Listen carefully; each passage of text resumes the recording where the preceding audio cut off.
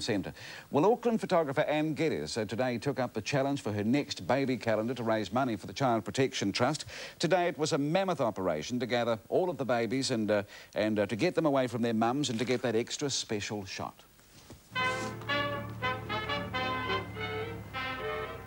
Who's that coming down the street? Who's that looking so petite? Who's that coming down to meet me here? Yes, sir, maybe. Yes, sir, that's my baby now. We were going to shoot this last winter. We had it all planned. They had all the babies. Um, the logistics were just incredible. We had to heat the hothouse and all of that, and then the measles epidemic struck. So um, we had to cancel, and everyone was so upset about it. And I thought, look, I have to do it. You know, I can't chicken out.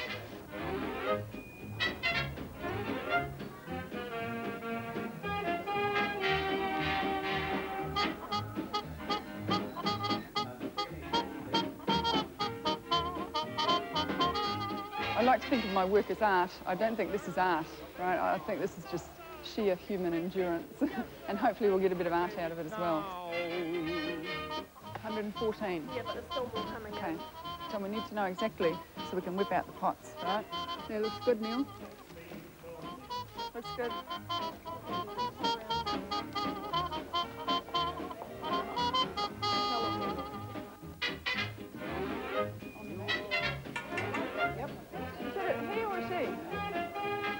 Right, swap. He's in the third. Just swap, just in case, so we don't want them flying in the front row. Look, I'll just move this. We had to get babies six months old. Um, it was very important that they were just sitting up and not pulling themselves up, so we don't want a little one in the middle trying to climb up out of the pot. So we're always very concerned about their safety. Um, but th generally they like it in there. But I think once one baby cries, they'll all cry, and hey, it's all good fun. Okay, mums, if you just keep moving in behind the picket fence there, the sooner we can uh, get through clear thing called out of I just like the idea of the little babies' heads coming out of the pots. I think it will be a magic moment when all the mothers walk away and we just see all these little babies sitting there. That's what I'm after, and that's, that's what I've thought of all along when we've considered the shoot, just that moment. Right back! Woo! We did it, we did it!